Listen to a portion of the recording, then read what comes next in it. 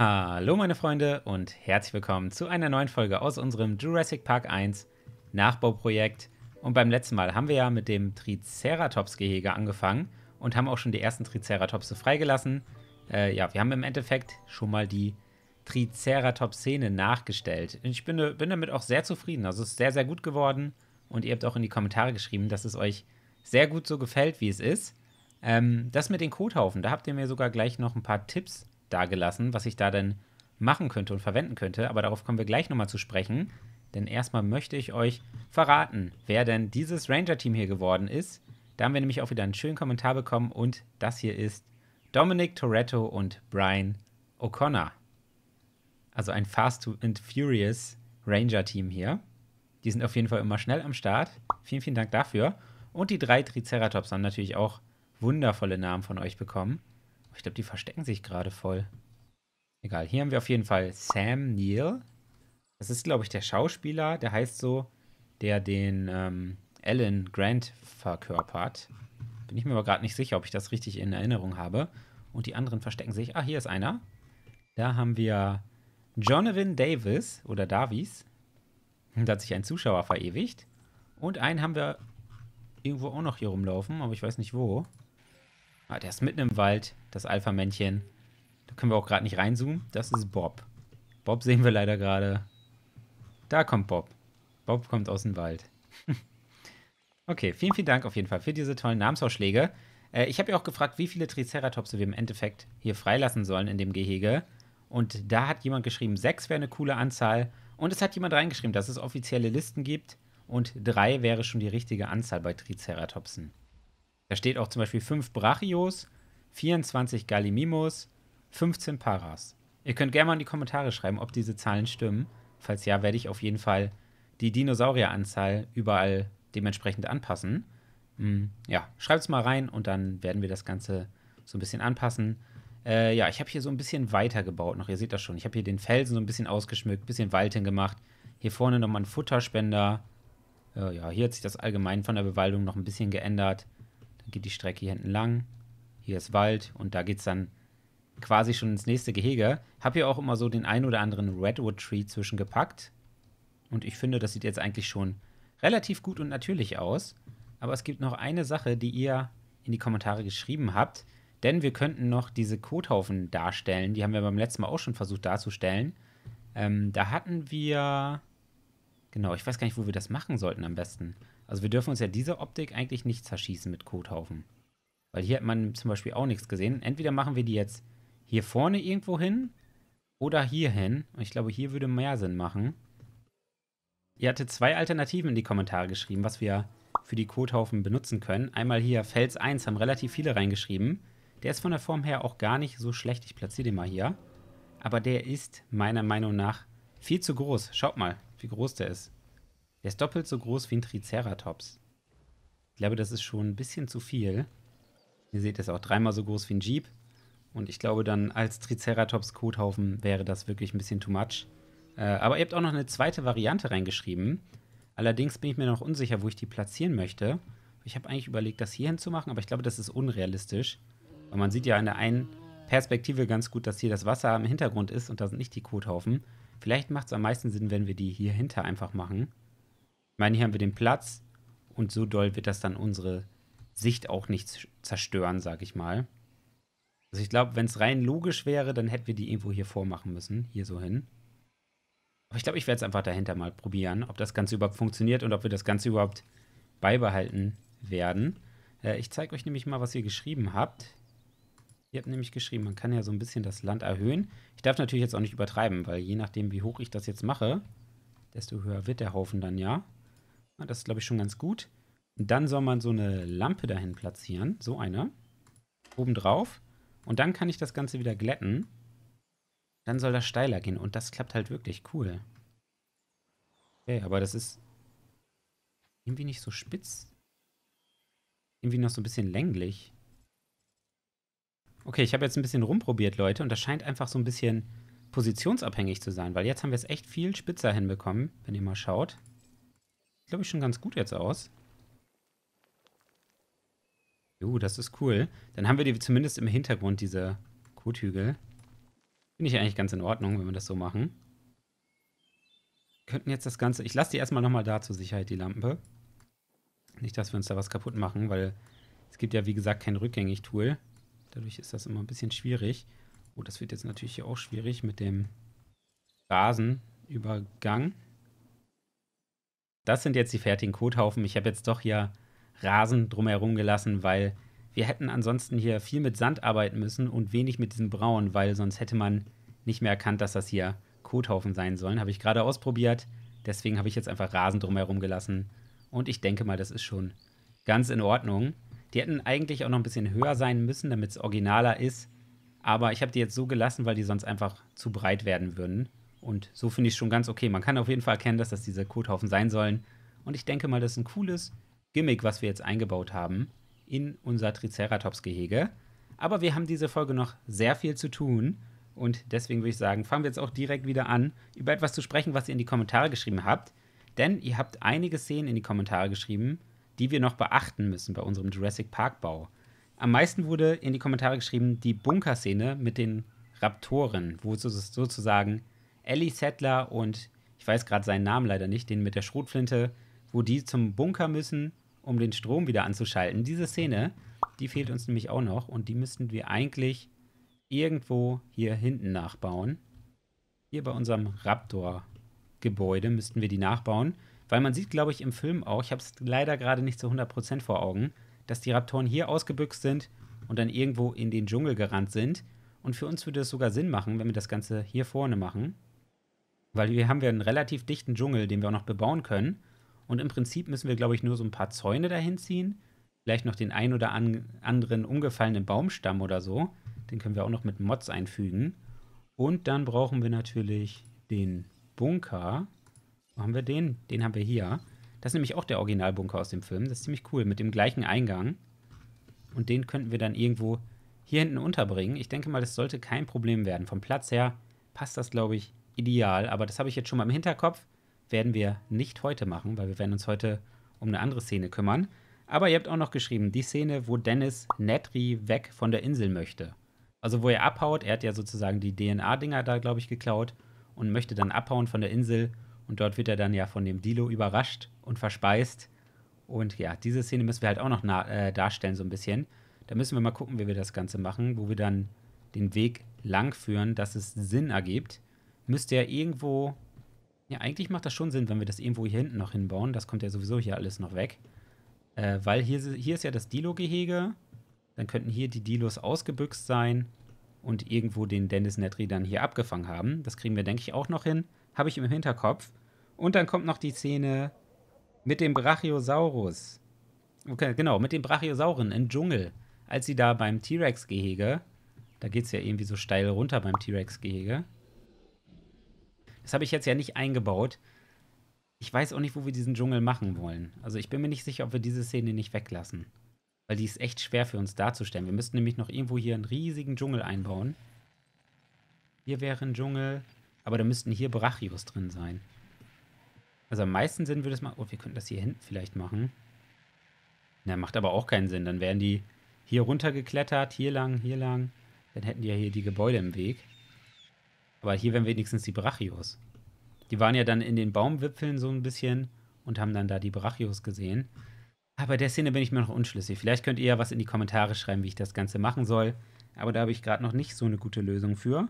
Und dann habt ihr noch die Szene reingeschrieben mit den Stromzaun, wo sozusagen die alle rüberklettern und dann wird der Strom eingeschaltet und der kleine Timmy oder Tim wird dann vom Strom erfasst und äh, fällt von dem Zaun sozusagen runter. Diese Szene müssen wir eigentlich irgendwo hinter dem Gallimimus-Gehege machen. Weil ich glaube, es kommt erst diese Szene hier mit dem Gallimimus. Das wird ja hier die Gallimimus-Wiese. Und dann müssten wir hier noch irgendwo diesen Stromzaun machen, der so auf einer kleinen Erhöhung ist. Das äh, muss dann auch irgendwo hier mit eingeplant werden. Aber das sind eigentlich so alles die Szenen, die uns noch fehlen. Falls euch noch irgendwas einfällt, schreibt es gerne in die Kommentare. Wir machen uns auf jeden Fall heute erstmal an die Gallimimo-Szene so ein bisschen. Und dort sieht man eigentlich, dass hier eine relativ große Wiese ist. Also hier ist überall Gras, bis auf einen Baum in der Mitte. Den können wir dann auch darstellen. Und was noch wichtig ist, ist es hier weiter unten, also hier, als hier vorne. Das heißt, wir gehen hier so einen kleinen Hügel nach oben. Und was mir auch noch aufgefallen ist, also den Berg im Hintergrund, den werden wir sowieso haben, allein durch unsere Landschaft. Aber was mir noch aufgefallen ist, ist hier hinten das hier. Schaut euch das mal an. Hier hinten sind zwei so Striche, das könnten beides Schienen sein von unserer Jurassic Tour. Also einmal das hier und das hier. Können natürlich auch nur Reifenspuren sein. Also ich glaube, das vordere hier, also das hier, sind, glaube ich, nur Reifenspuren. Aber hier könnte ich mir fast vorstellen, dass das die Schienen sind. Kann man sehr schwer erkennen. Würde aber sogar Sinn machen. Weil es macht ja Sinn, dass die Schienen wirklich durch, die, durch das Gallimimus-Gehege auch noch führen. Und das könnten wir eigentlich auch perfekt weiterführen. Also ich werde das jetzt erstmal als Schienen interpretieren. Falls es nicht so ist, schreibt es gerne in die Kommentare. Aber für mich sieht das so ein bisschen so aus. So, hier gehen die dann noch so ein bisschen hoch. Dann sehen die, sobald die über den Hügel kommen, erblicken die hier, also das ist der Hügel, den die gerade hochgegangen sind. Hier ist dann auch nochmal ein Baum. Hier im Hintergrund auch noch ein Baum.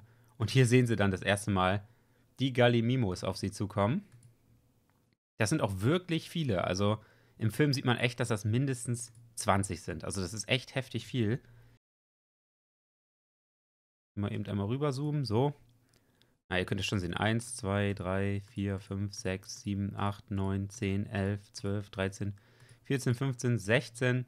Und da im Hintergrund sieht man noch einige andere Köpfe. Also das sind mindestens 20, wenn nicht sogar noch mehr. Das heißt, wir müssen relativ viele Gallimimos freilassen hier in unserem Gehege.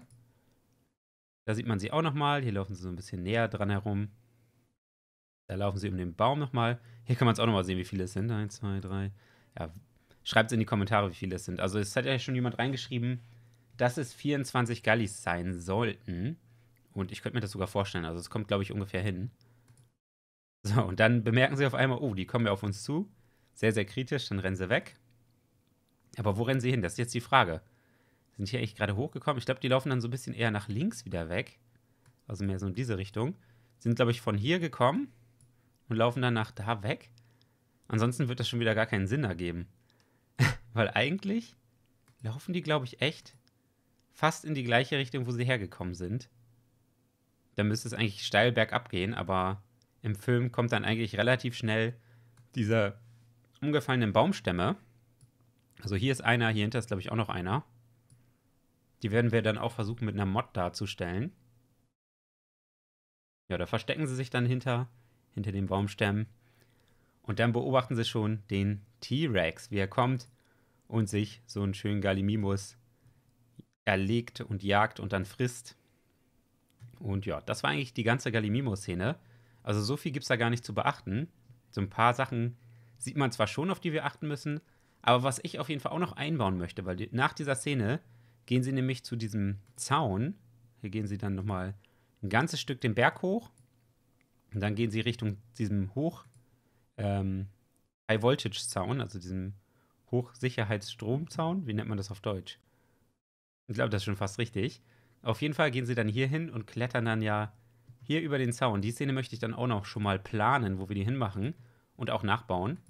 Weil an sich ist es gar nicht so viel. Also die klettern über den Zaun und dann wird halt dieser Timmy von dem Strom erfasst und wiederbelebt. Und ja, dann haben wir die Szene eigentlich soweit abgeschlossen. Das werden wir heute bauen und wir springen jetzt wieder in Jurassic World Evolution. Und da sind wir auch schon wieder in Jurassic World Evolution und jetzt geht es daran, das Ganze nachzubauen. Ich denke mal, es macht sogar echt Sinn, wenn wir diese Schienen da im Hintergrund wirklich äh, lang verlaufen lassen, weil dann wären sozusagen hier diese Schienen und dann hätten wir hier den Berg, wo sie dann hochlaufen. Also, dass wir den hier bauen und aus dieser Sicht, wo ich jetzt gucke, ist ungefähr dann der erste Screenshot. Das denke ich mal ganz cool. Das kommt nämlich auf jeden Fall relativ gut an das Original dann ran und das passt dann auch sehr gut mit unserem Park hier zusammen. Das heißt, wir müssen jetzt erstmal hier das ganze Land so ein bisschen anheben. So, ich denke mal, von der Höhe sollte das später ausreichen. Oder? Ich bin mir da gerade unsicher. Können wir mal kurz hier in diese Perspektive gehen, wie das Ganze dann aussieht. Boah, doch, das kommt, glaube ich, ganz gut hin. Wenn dann hier hinter dann die Schienen lang verlaufen. Gehen wir noch ein bisschen näher ran. Ja, ich denke schon. Müssen wir aber hier das Ganze noch so ein bisschen gestalten. Also so leicht hügelig kann es ruhig sein. Weil hier wird ja später auch noch ein bisschen Gras und so hinkommen. Aber ich denke mal, so passt das schon. Dann können wir einmal eben die Strecke weiterziehen dahinter im Hintergrund. Einmal hier einfach komplett geradeaus. Ist hier vorne irgendwo Hier müssen wir die dann am Ende irgendwie hier schräg lang verlaufen lassen. Müssen wir da mal schauen. Das ist ja alles, was man dann im Film nicht mehr sieht. Im Film sieht man ja im Prinzip nur die Schiene da im Hintergrund und dann dieser Baum. Also ich glaube, das ist ja schon eine sehr gute Position, wo ich mich hier befinde.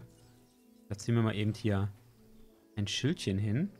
Das wären dann sozusagen die Leute, wo die gerade stehen. Die stehen sogar noch ein bisschen weiter unten, aber von der Höhe halt her. Denke mal, das kommt schon ganz gut hin, ne? wenn ihr mal oben rechts schaut. Na gut, hier der Untergrund und so ist noch ein bisschen anders. Aber das, können wir nicht ganz perfekt machen. Der Baum, der müsste dann ungefähr... Ich denke mal, dieser Baum kommt schon ganz gut hin dann, ne? Jo, ich glaube, der ist ziemlich perfekt dafür. Den so rumdrehen, das ist schon ziemlich gut.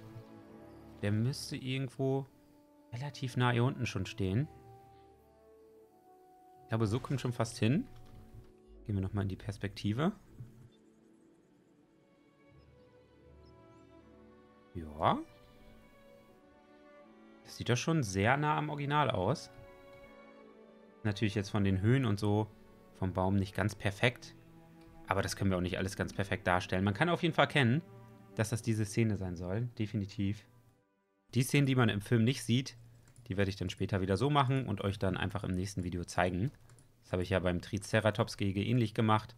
Ist, denke ich, auch am sinnvollsten, damit wir jetzt schnell vorankommen. Weil ein paar Szenen haben wir sogar noch zum Nachbauen. Und dann kommt natürlich auch noch Jurassic Park 2 und Jurassic Park 3. Also es gibt noch sehr viel zu tun. Äh, ich frage mich, ob wir hier auch begrasen sollen. Also eigentlich ist da ja nur normales Gras so. Aber ich glaube, der ein oder andere Busch, der kann hier gar nicht schaden da unten. Selbst wenn das vielleicht im Film nicht zu sehen ist. Wäre sonst, glaube ich, aber ein bisschen langweilig. Wir können ja auch hier vielleicht mit den normalen Büschen ein bisschen arbeiten. Muss ja auch nicht so übertrieben sein. Wir können ja nur so ein bisschen was machen. Werde auch hier, glaube ich, nochmal so ein bisschen die ein oder andere braune Stelle damit reinbringen. Weil das im Film schon relativ grün ist, ne? Ich glaube, ich weiche eher davon ab, von dem Film, wenn ich hier so viel braun mache, wenn ich mir das so anschaue. Ich glaube, ich muss wirklich alles stumpf grün lassen. Ja, das kommt aber, denke ich mal, schon hin. Wenn die dann hier hochlaufen, das passt schon. Und dann wäre jetzt sozusagen die Szene in diese Richtung. Und ich kann jetzt schon mal sagen, also es geht dann hier wieder so ein bisschen runter und wieder so ein bisschen hoch. Und über der Kuppe erscheinen dann die Gallimimos. Da müssen wir jetzt gucken, dass wir das platztechnisch noch hinkriegen, dass es einigermaßen gut aussieht. Vom Hintergrund her sieht das sogar relativ gut aus, muss ich sagen. Ja, das sieht ganz schön aus. Das heißt aber, wir müssen jetzt rein theoretisch die Kuppe hier wieder runtergehen lassen, so ein bisschen.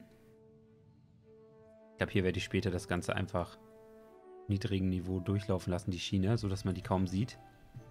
Müssen wir dann mal schauen. Ich weiß nicht, ob das jetzt was vom Gesamtbild kaputt macht. Nö, ich glaube, da links geht sogar so ein bisschen runter. Also passt das, glaube ich, schon.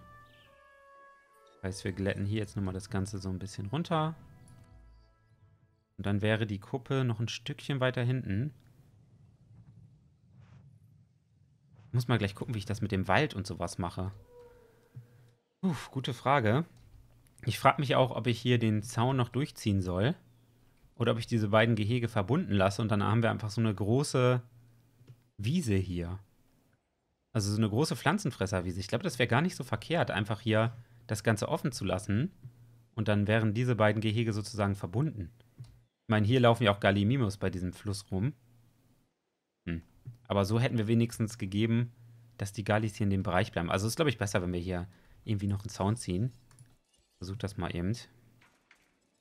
Welchen Zaun haben wir hier benutzt? Den Stromzaun.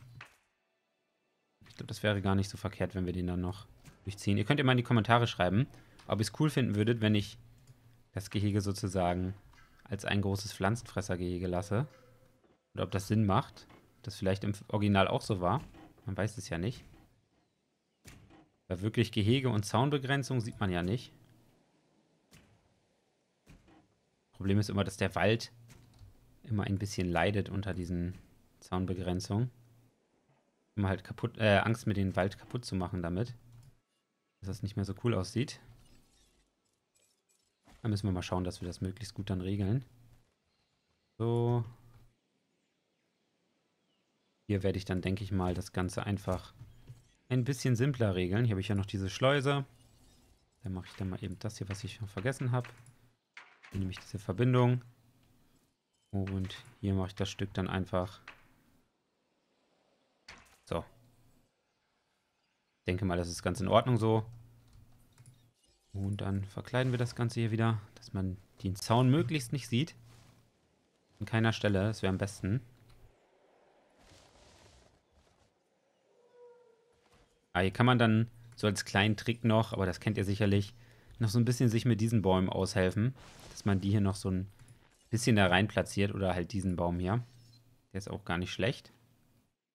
So, und jetzt sieht man den Zaun wirklich nur noch minimal hier so ein bisschen durchschimmern. Das haben wir, glaube ich, jetzt schon relativ gut verdeckt hier. Aber wir müssen natürlich jetzt hier noch gucken, dass wir das vernünftig mit der Kuppe hinbekommen. Ich will sie nicht zu nah dran lassen, aber wir können auch nicht so weit weggehen. Ah, das wird hier wirklich vom Platz her schon echt eng werden. Hätte ich gar nicht gedacht. Wir müssen uns natürlich auch noch überlegen, wo dann später diese Zaunszene hinkommt, die ich vorhin geplant hatte. Uff, das wird alles sehr, sehr eng vom Platz. Vielleicht können wir die Zaunszene ja irgendwo hierhin machen. Wäre vielleicht gar nicht so schlecht.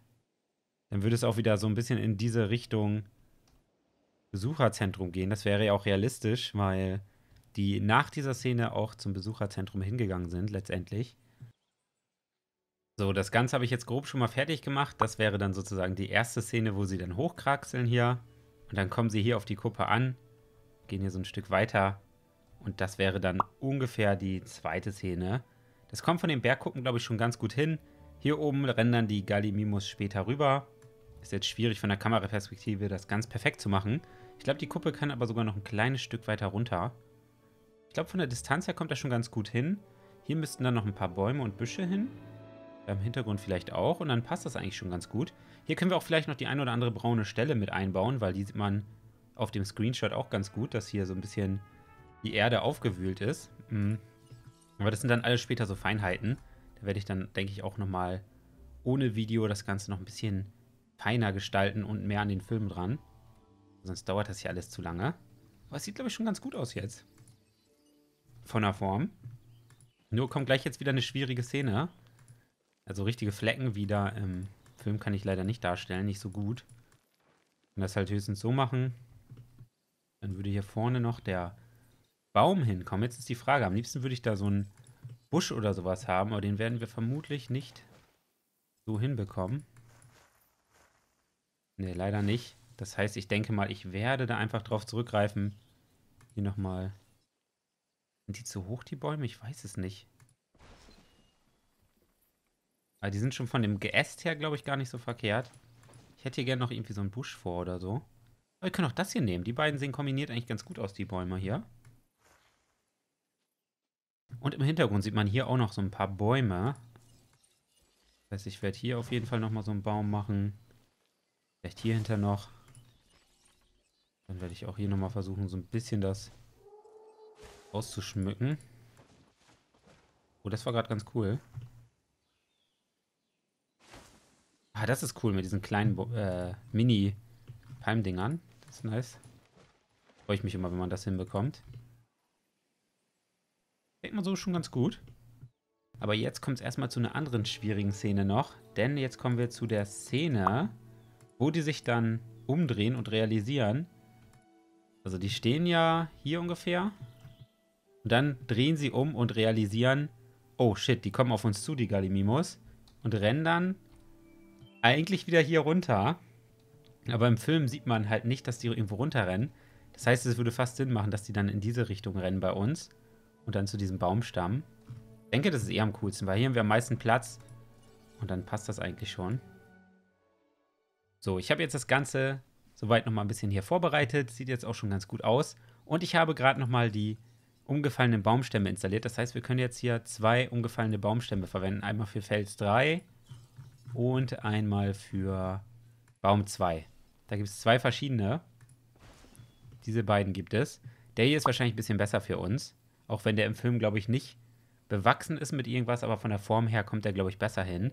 Weil das hier ist ja eher so ein umgefallener Redwood-Tree. Der hier kommt schon relativ nah an den Film an. Äh, das einzige Problem ist natürlich jetzt, ich habe es euch ja gerade gezeigt, dass Baum 2 und dieser Fels 3 ersetzt werden. Und wir hatten natürlich im Park schon ein paar Mal diesen Baum 2 und Fels 3 verwendet. Zum Beispiel gerade hier, was wir gebaut hatten. Und da sind natürlich jetzt auch diese Baumstämme. Ich muss es dann später so machen, wenn ich die Filmszenen aufnehme, dass ich dann genau an dieser Stelle dann die Mod installiere und dann kurz diese Stelle aufnehme und dann wieder deinstalliere. Oder darauf hoffen, dass das noch ein Update rauskommt, dass man zusätzlich diese Logs platzieren kann und nicht halt, dass Bäume dadurch ausgetauscht werden. Ist ein bisschen ärgerlich, aber für diese Szene ist der Baumstamm einfach wirklich wichtig. Deswegen werden wir das Ganze jetzt erstmal damit darstellen. Also, wir stellen das Ganze jetzt nochmal eben nach. Nicht wundern jetzt hier wegen den Baumstämmen, das ist halt jetzt ein bisschen unlogisch. Äh, die stehen halt hier irgendwo ungefähr, sehen dann hier die Gallis, die laufen hier außen rum und scheuchen sie dann, kommen dann von hier wieder und scheuchen sie dann hier in diese Richtung. Das macht schon Sinn. Und hier müsste dann irgendwo der Baumstamm liegen. Der Baumstamm wird dann wahrscheinlich so ungefähr liegen. Ich glaube, das ist schon ganz cool so. Denk mal so. Und im Hintergrund liegt, glaube ich, auch noch ein weiterer Baumstamm. Der liegt da, glaube ich, irgendwie so.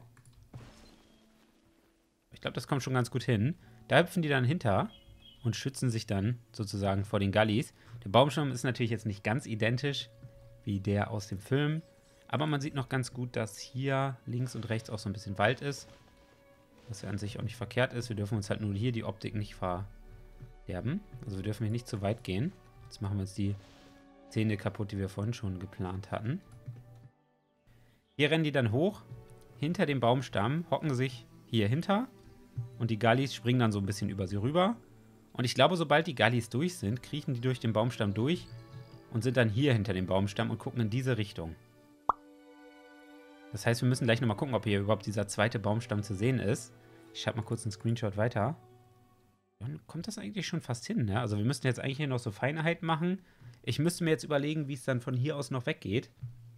Weil im Prinzip ist es ja dann so, dass die, also hier frisst dann der T-Rex den Galli irgendwo, irgendwo hier vorne. Der kommt hier aus dem Wald sozusagen, greift die an, die Gallimimos.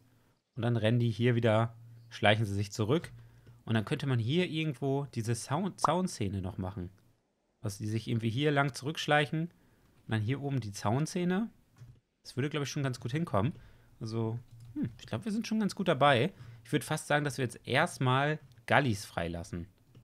So, Leute, wir lassen jetzt die letzten zwei Gallis gemeinsam frei. Ich habe jetzt schon 22 Stück freigelassen. Das heißt, insgesamt werden wir 24 Gallimimos haben.